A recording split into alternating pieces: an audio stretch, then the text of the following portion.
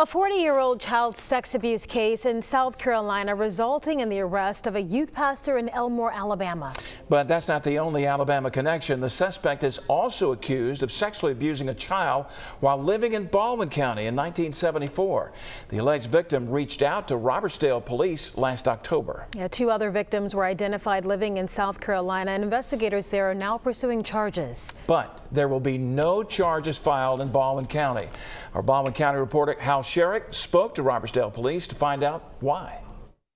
Investigators believe 63 year old Peter William Cooper sexually abused at least three young girls in Baldwin County and two South Carolina counties between 1974 and 1976. Investigators caught up with Cooper last week in Elmore County, Alabama, and was extradited back to Spartanburg, South Carolina to face charges there on one of those cases.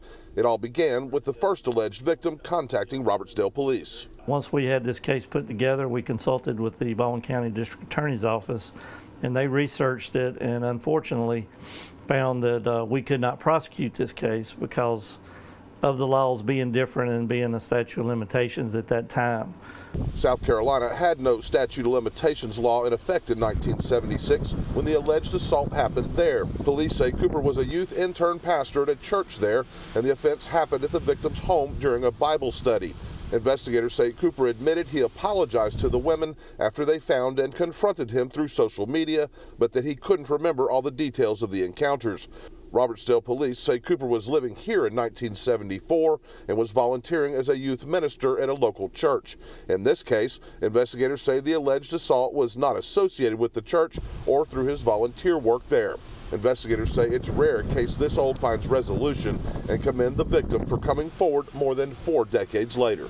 Once she found and once she decided she had the courage to come forward and she started looking into social media events and found that he was still involved in activities around children, it became very important for her to make sure that she protected anyone else from becoming a victim. Investigators are hoping that if there are any more alleged victims of Peter Cooper, they will now come forward. Cooper faces charges of lewd act against a minor in South Carolina because that was the applicable law in 1976 there. Now, in Alabama, the laws have since changed. Now, there's no longer a statute of limitations applied to sex crimes here. Reporting live in Robertsdale, Hal Scheurich, Fox 10 News.